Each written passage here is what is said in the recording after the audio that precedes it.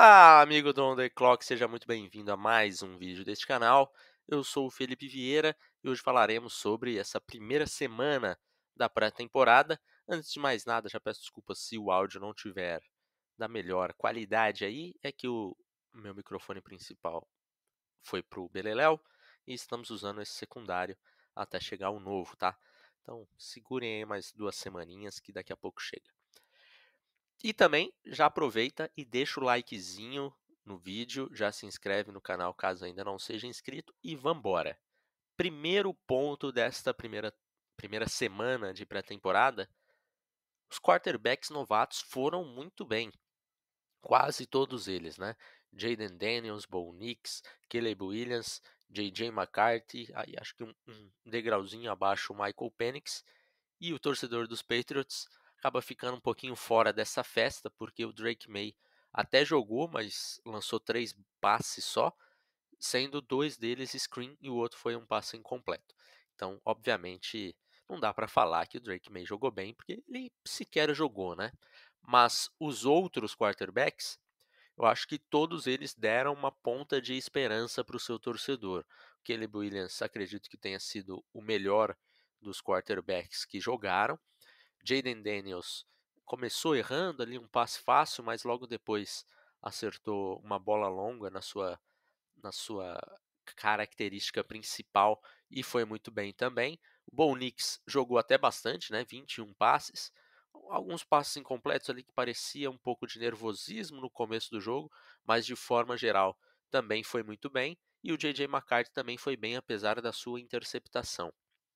Bo Nix, inclusive, jogou cinco drives, quatro deles foram para pontuação, né? Dois field goals e dois touchdowns, um deles inclusive lançando para o Marvin Mims. É lógico que primeira semana de pré-temporada não dá para dizer nada. Ah, o fulano foi muito bem, quer dizer que ele vai, vai bem na temporada regular. Não é, não é isso que, que a gente está querendo analisar aqui e querendo dizer alguma coisa sobre isso. Até porque ir mal na pré-temporada também não significa muita coisa. O CJ Stroud na temporada passada foi, foi mal na pré-temporada, não foi bem.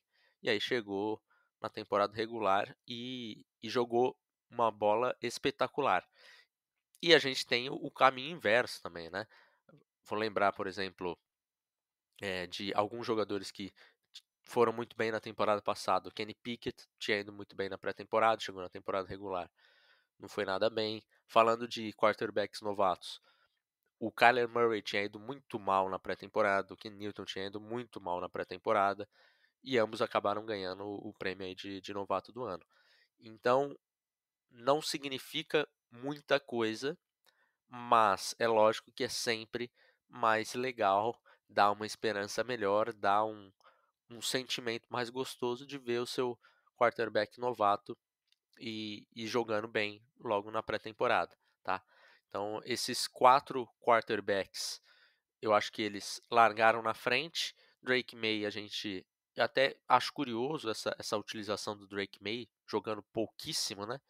Eu não sei se os Patriots querem dar uma protegida no Drake May nesse começo, de repente pensando até em, em poupá-lo para a temporada regular.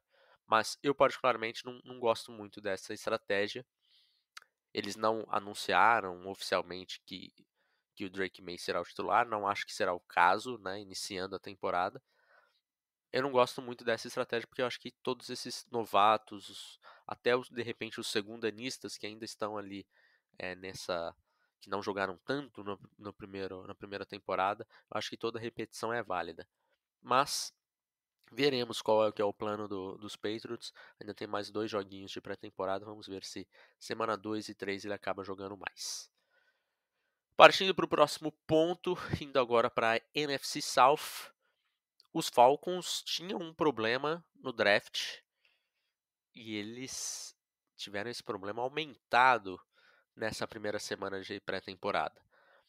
Todo mundo imaginava que lá na escolha 8 os Falcons selecionariam um edge rusher e eles acabaram pegando Michael Penix e deixaram o Ed Rusher para pegar só na terceira rodada, que foi o Brandon Trice de Washington. O Brandon Trice acabou de sofrer uma lesão que o deixará de fora da primeira temporada dele.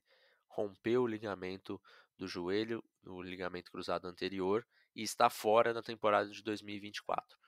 Então, se o torcedor dos Falcons já ficou bravo com a escolha do Michael Penix, porque tinha necessidade de selecionar um edge rusher alto para ele fazer, é, eh, para ele ter uma qualidade de, de um pass rush melhor em 2024, essa necessidade ela se tornou ainda maior, né? Porque você não, não tem grande profundidade na posição, você não tem um talento muito grande na posição e você acabou de perder o seu novato que tinha a oportunidade ali de, de surpreender todo mundo, né? E calar os críticos que, que, que quando reclamaram que selecionou o Michael Penix e não a posição que tinha necessidade maior para 2024, que era Ed Rush. Então essa lesão acaba atrapalhando demais os Falcons e junta tudo isso que os Falcons também tiveram mais outras duas lesões que vão atrapalhar a temporada deles. Rondell Moore, antes da, do jogo da semana 1 da pré-temporada, já tinha se lesionado também no joelho e também já está fora. jogador que deveria jogar bastante ali no slot, é, devia ser o wide receiver 3 deles e deveria ter uma produção razoável, então já está fora da, da pré-temporada, já está fora da temporada.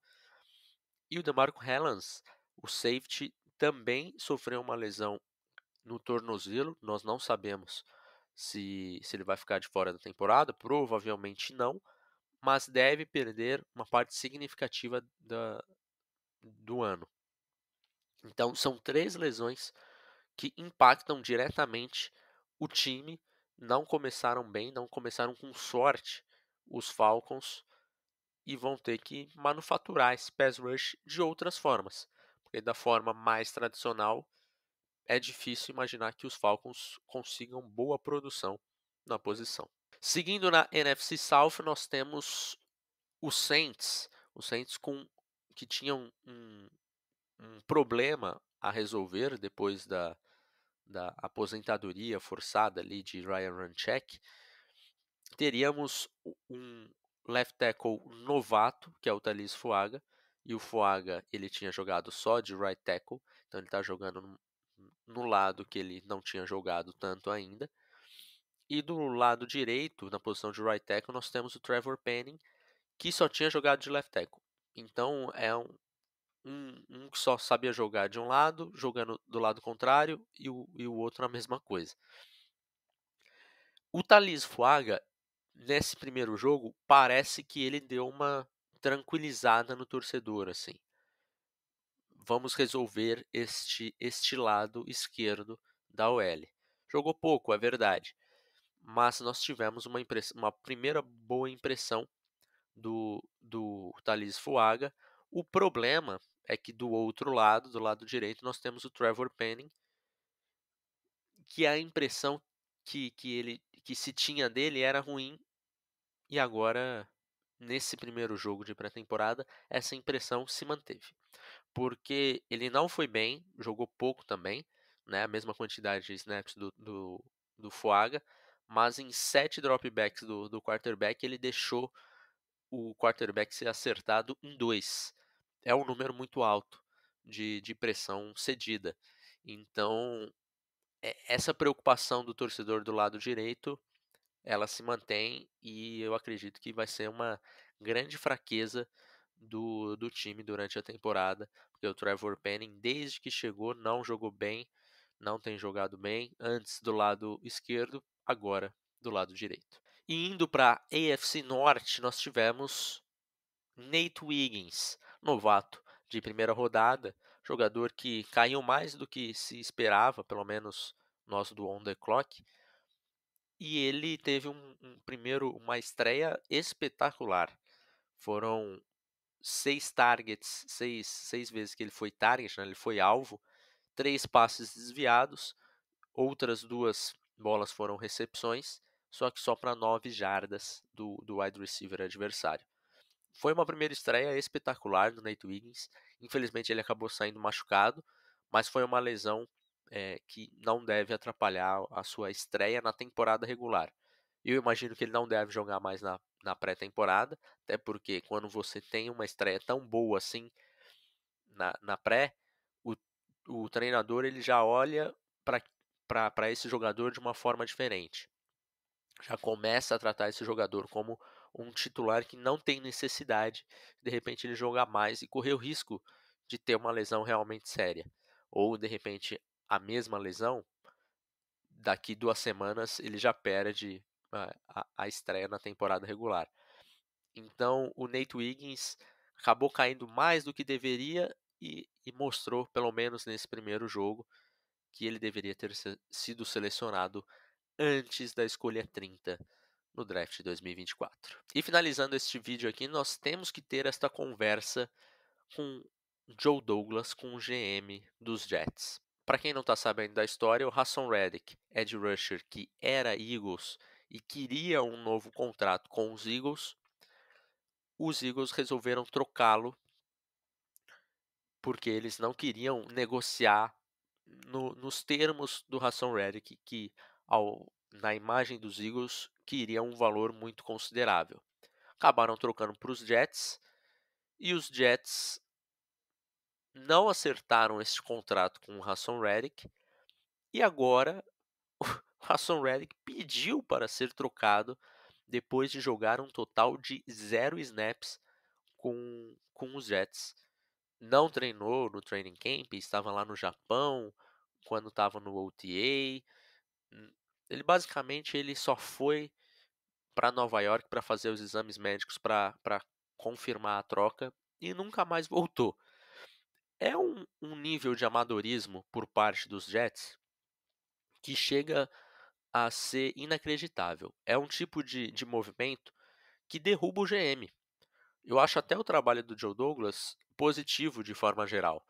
Mas se por acaso chegar no final da temporada e eles não tiverem alcançado seu objetivo, o dono do time vai olhar para esse movimento e certamente estará lá na, na coluna dos, dos contras, dos negativos do GM Joe Douglas. Porque é um nível de amadorismo absurdo. O cara sabe que o jogador quer um novo contrato.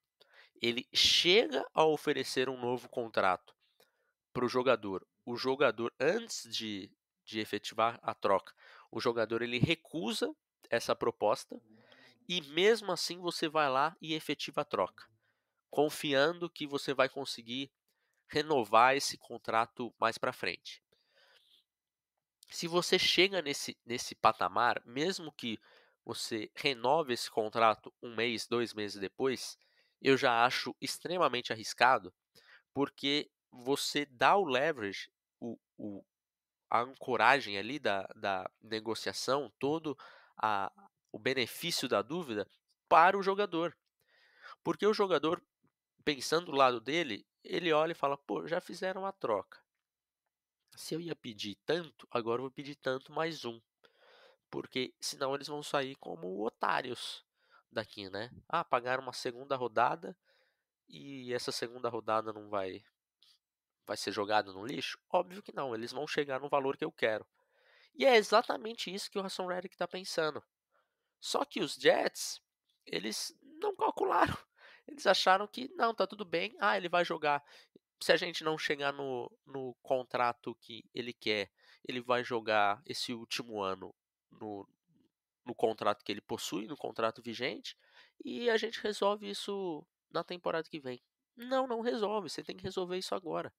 Então é um é uma falha muito grande dos Jets.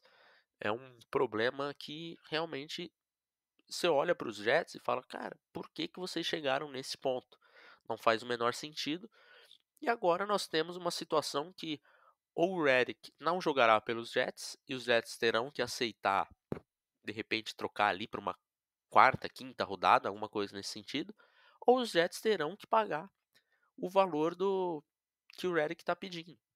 Porque, pelo lado do Hassan Redick, ele já tomou multa, ele já tomou é, muitas taxas ali que para ele ele já, já chegou num, num, ponto que ele não pode mais voltar para trás.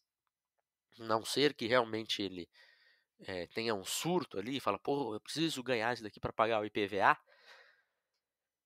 é, provavelmente ele não, não joga nesse contrato. E aí, e aí ele vai, vai tomar todas essas multas e tudo mais, mas o prejuízo vai ficar por parte dos Jets, que, que trocaram uma segunda rodada por ele, e é lógico que o Redick também vai sofrer com isso.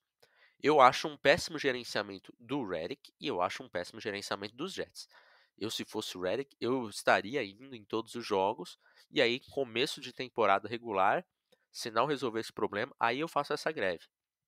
Porque daí o prejuízo é muito menor e a vontade de resolver o problema dos Jets seria muito maior. Né?